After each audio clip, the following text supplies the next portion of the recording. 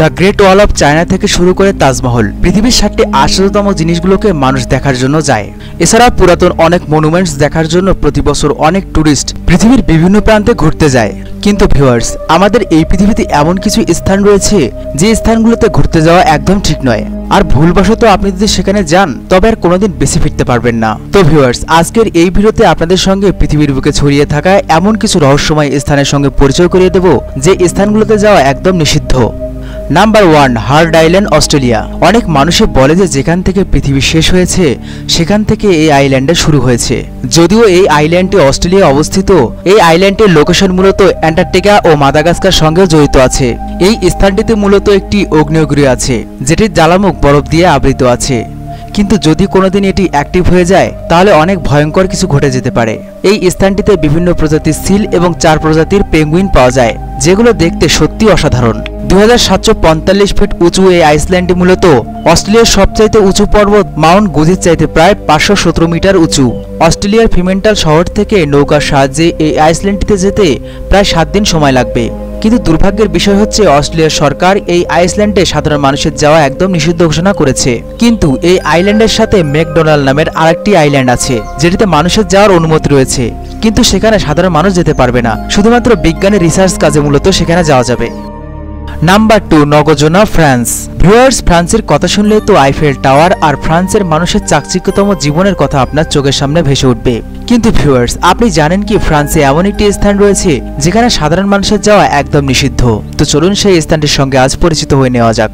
সেই স্থানটির নাম হচ্ছে জোন রস, বা রেড জোন।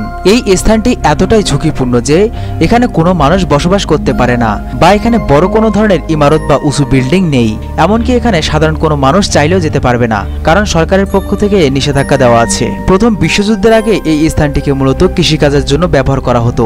কিন্তু প্রথম বিশ্বযুদ্ধের সময় এখানে যে পরিমাণের অস্ত্র দিয়ে হামলা করা হয়েছিল, যার ফলে এই স্থানটি একদম তছনছ হয়ে গেছে। আর যে পরিমাণের বোমা এখানে ছুঁড়ে ফেলা হয়েছে, তার ফলে এই স্থানটি একেবারে দূষিত হয়ে গেছে। এবং প্রথম বিশ্বযুদ্ধের সময় এখানে যে পরিমাণের মিসাইল ও গোলাবারুদ ফেলে দেওয়া হয়েছিল, তার ফলে এখানকার অনেক মানুষই মারা যায়। এবং এখানকার সব ঘরবাড়ি ও কৃষিকাজে ব্যবহৃত জমির উর্বরতা ক্ষমতা একদম নষ্ট হয়ে যায়। যখন প্রথম বিশ্বযুদ্ধ শেষ হয়, তখন সেখানে বেঁচে থাকা কিছু মানুষকে ফ্রান্সের সরকার অন্য জায়গায় শিফট করে নেয়। এগারোশো নব্বই কিলোমিটারের ওই জায়গাটিতে ফ্রান্সের সরকার যে কোনো সাধারণ মানুষের যাওয়ার ক্ষেত্রে নিষেধাজ্ঞা ঘোষণা করে এবং যুদ্ধ শেষ হওয়ার পরবর্তী সময়ে এখানে যে পরিমাণে ধ্বংসাবশেষ পড়ে আছে তা পরিষ্কার করতে প্রায় দুইশো থেকে তিনশো বছর সময় লাগতে পারে। Number three, Poveglia Island. এই আইল্যান্ডটি মূলত ভ্যানিস ও লিডোর মধ্যে অবস্থিত। এই আইল্যান্ডটিতে মূলত একটা সময় মৃত মানুষের শরীরগুলোকে ফেলে দেওয়া হতো। এক সময় ইটালিতে বিউগনিক প্লেগ নামের এক ধরনের রোগ হতো, যাতে অনেক মানুষ তাদের জীবন হারাতো। এবং সেই সমস্ত রোগীদেরকে এই আইল্যান্ডে আনা হতো? এবং তাদের উপর অনেক ধরনের কঠোর পরীক্ষা নিরীক্ষা চালানো হতো, যা সত্যি ভয়ঙ্কর ছিল। লোকমুখে এখানে একটি কথা প্রচলিত রয়েছে।